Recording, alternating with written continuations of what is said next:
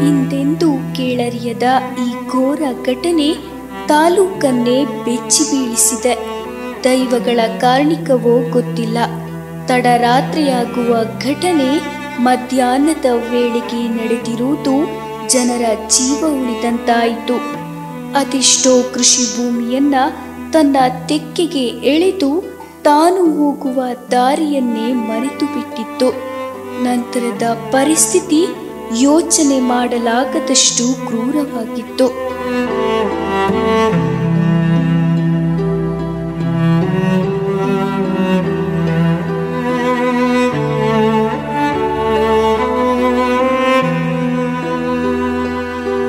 ನೋಡುತ್ತಿದ್ದಂತೆ ಸೇತುವೆ ಕಣ್ಣೆದುರೇ ಕುಸಿದು ಬಿತ್ತು.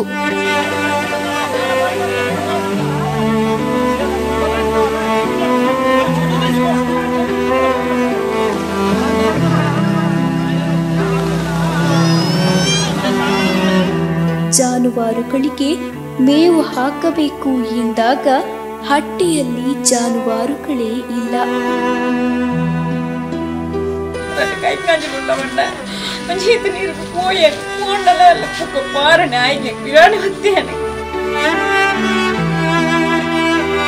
ಮಳೆಗೆ ಮನೆಯನ್ನು ಸೇರಿದರೆ ಸಾಕಿತ್ತಪ್ಪ ಎಂದು ಅಂದುಕೊಂಡಾಗ ಮನೆಯೇ ನೀರಿನ ಅಬ್ಬರಕ್ಕೆ ಕೊಚ್ಚಿ ಹೋಗಿದ್ದವು.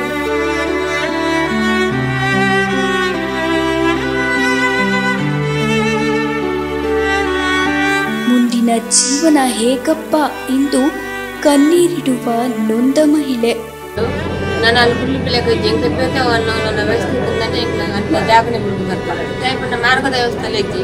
ಅಲ್ಲಿ ಫುಲ್ಲು ನಾನು ರಾತ್ರಿ ಬರಬಿಡ್ತಾನೆ ಸಾಧ್ಯನೇ ಇಡೀ ಬೇರೆ ಅದು ಜಾರಿ ತಿಳ್ತೇವೆ ಬರ ಕೃಷಿ ಅಂತ ಕೊಂಡು ನಾನು ಕೃಷಿ ಮಾಡ್ಕೊಂಡು ಕೊಯ್ಯ ಕಾಲು ಮಾಡ್ಬೇಕು ಖಂಡ ತೋಟ ಇಡೀ ಅನ್ನ ಹಾಕಿದ ಮನೆಯವರು ಎಲ್ಲಿ ಹೋಗಿದ್ದಾರೆ ಎನ್ನುವ ಮೂಕ ಪ್ರಾಣಿಗಳ ಅಳಲು. ಎಲ್ಲವನ್ನ ಕಳೆದುಕೊಂಡ ಜನರ ಕೂಗು ಮುಗಿಲು ಮುಟ್ಟಿತ್ತು. ತೊಂಬತ್ತು ವರ್ಷಗಳಿಂದ ಇಂತಹ ಪರಿಸ್ಥಿತಿಯನ್ನು ನೋಡಿರದ ಅಸಹಾಯಕ ಪರಿಸ್ಥಿತಿಯಲ್ಲಿರುವ ಅಜ್ಜಿ.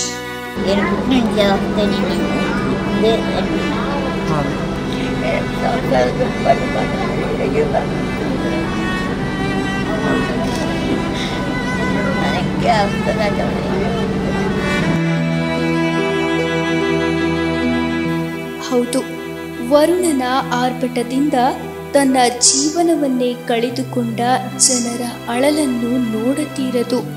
ಮುಂದಿನ ಜೀವನವನ್ನ ಕಟ್ಟಿಕೊಳ್ಳುವ ಭರವಸೆಯೇ ಅವರಲ್ಲಿ ಇಲ್ಲದಾಗಿದೆ.